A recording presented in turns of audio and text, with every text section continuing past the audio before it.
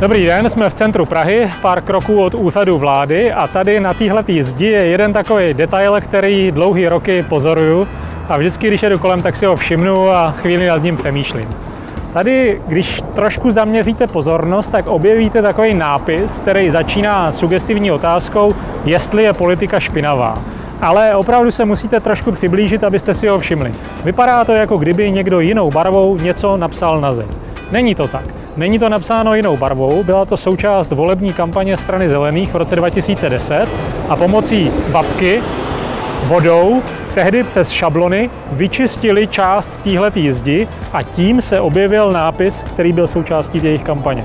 A mně přijde zajímavý, že uplynulo víc než 10 let a ten nápis je pořád ještě čitelný. Jinýma slovama, tu zeď od té doby nikdo nevyčistil tak, aby ten nápis zmizel.